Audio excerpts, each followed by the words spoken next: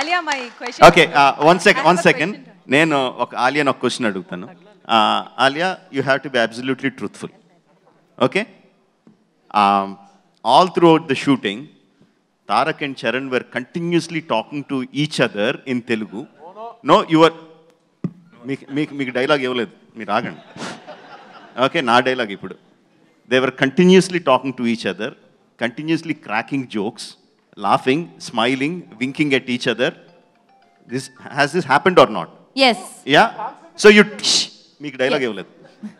So so you have to truthfully tell me what you felt. And it went on for hours, not once or twice. Huh? It went on for hours. And so uh, I'll share an anecdote. The first day of shoot, I was working with Tarak. So Tarak was saying, listen, don't mind. I have not worked with a heroine in a really long time because I've been working with Charan. So, so I may be a little bit. So I was like, no, no, it's fine. Don't worry.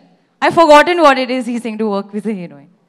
Then I worked with Charan, who was complete opposite, was very quiet, very, you know, um, not even like, didn't talk much also on the first day of shoot. A very big scene for him at that day, I remember. Feeling then shy. I, huh?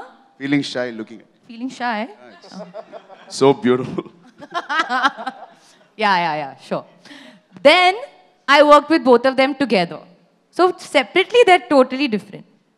Together, they are only pulling each other's leg, teasing each other. Tarak is constantly pulling Charan's leg. He's saying something, Jakarna, Jakarna, something, something, something, something. And then Charan is saying, no, no, no, and all. We were not pulling our legs. We were just Not my leg, his leg. No, his leg, yeah. Then We he was talking. saying don't do, then you were saying no, and then and then I realized their bond is so special.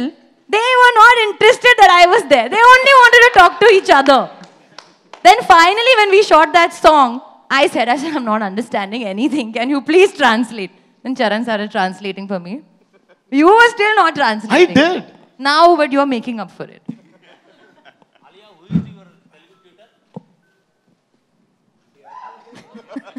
No, I'm joking.